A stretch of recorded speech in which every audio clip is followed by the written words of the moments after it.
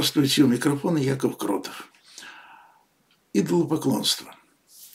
В средние века э, раввины, ну, я думаю, что это, конечно, какой-то один раввин, во всем случае, иудеи, пражские иудеи, жившие в Праге, пражский гетто, но очень маленький, ну и Прага в конце XVI века, в начале XVII была провинциальным, скажем, прямо городом, сочинили легенду о големе – это был первый вариант всех тех романов о восстании роботов, как у Чапика, о бунте машин, о роботах, которые влюбляются друг в друга, роботах, которые уничтожают людей и, наоборот, жертвуют собою сознательно для защиты людей.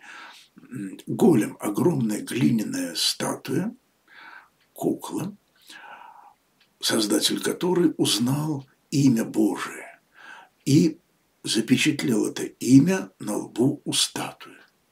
Отпечатал. И статуя ожила. И стала выполнять повеление своего повелителя.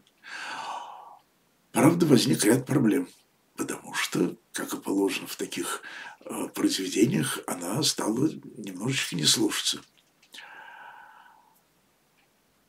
Вот о чем говорил один из пророков, что Бог спросит тех, кто создает кумиры, язычников, на суде, воскресив.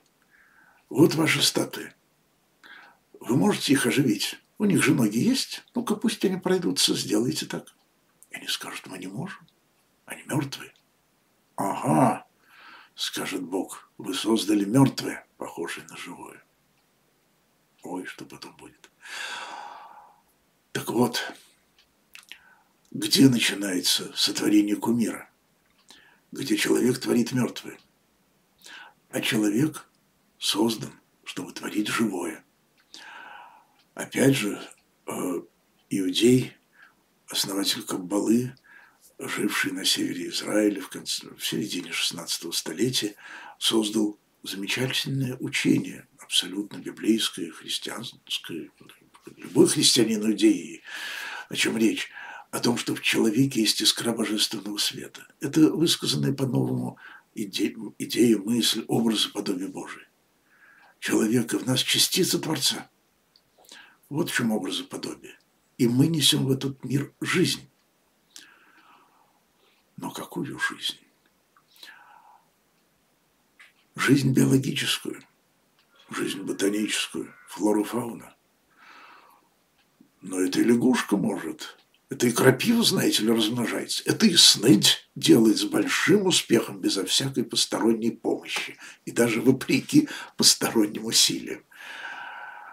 Человек же несет в мир жизнь Божию, жизнь вечную, жизнь, наполненную смыслом, любви, бесконечной. Это принципиально – Принципиально, потому что если у нас кусок металла согнутый в кольцо, это кольцо.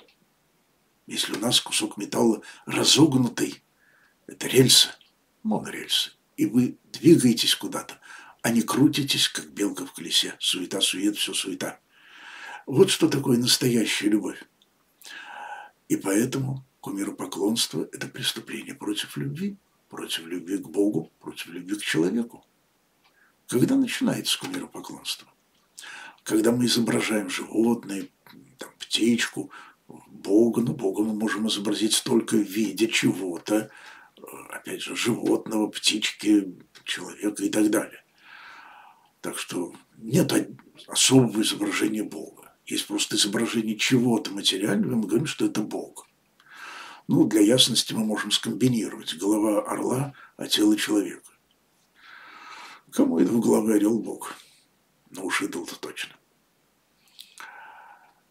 И мы знаем, что первая, самая древняя скульптура, которую находят археологи, она хранится в Ульме, это э, Германия, юг Германии, это Альпы.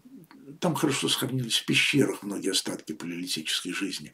Это стоящий человек с головой, видимо, льва а может быть львица, грива там незаметна, а может быть пантера. Важно то, что это такая вот комбинация. Это идол? Мы не знаем.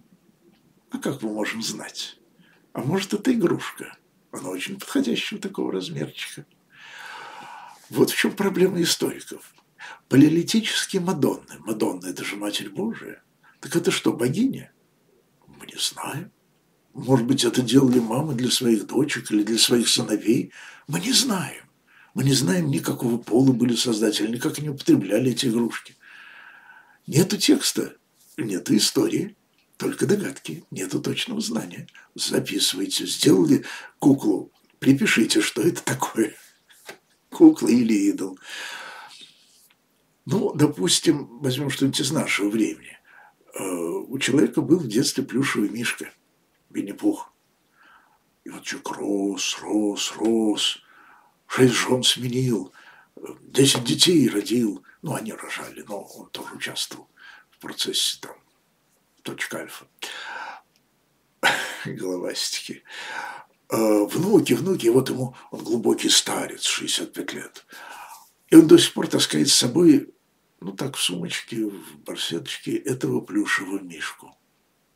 И когда у него проблемы с этими шестью женами, с детьми, по работе, здоровье, он с ним шушукается, он с ним советуется. Нетрудно же вообразить такую клоунаду. В конце концов, у каждого из нас есть там семейные фотографии. Листаем, ну, теперь уже на экране айфона. Вот. Это идолы или нет? Мы не знаем. Это зависит от субъективного намерения человека.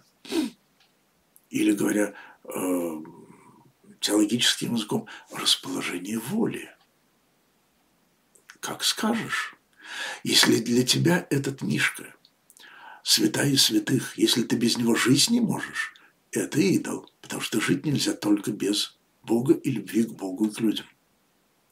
Если для тебя это, ну, такое лекарство, затычка, что э, в минуту тяжкую ты вспоминаешь, как ты был ребенком, ну, это как накрыться подушкой, но ты понимаешь, что накрываясь подушкой, ты не уничтожаешь мир, а просто, ну, чуть-чуть сокращаешь сигналы извне. И это, ну, так и Мишка, так и фотографии. Ты чуть-чуть убежал в детство, но ты убежал понарошке, и ты понимаешь, что с удовольствием вернешься. Тогда это не идол, окей. Микеланджело, Давид, идол или нет? Это ведь на Ветхий Завет сюжет-то. Это можно в храм Соломона ставить? А нужно. Это же памятник насилия. Вспомним, что сказал Бог царю Давиду. «Я тебе не дам построить храм. Ты слишком много пролил крови». Не знали, что в Ветхом Завете есть такие слова? Найдите, откройте, они там есть. Вот так вот и храм был дано построить только царю Соломону, который больше был по части заповеди не прелюбодействуй. Что ж, ну нет, нет, нет человека, который был бы жив и не согрешит, говорит Библия. Только Бог. Поэтому не надо себе прежде всего творить кумиров из людей. Я уж не буду показывать пальцем. Надо людей любить. Сотворить кумира и полюбить – это абсолютно противоположные явления. Полюбив, мы начинаем оживлять человека. Ему легче жить. Мы приоткрываем ему и себе, конечно, тоже вечную жизнь. А когда мы творим кумира из писателя, певца, э, политика и так далее, мы его делаем менее живым. И себя тоже. Да не будет такого. Не твори тако а твори инако. Это был Яков Кротов, э, Сафонтьева, но недалеко от Москвы. Всего доброго.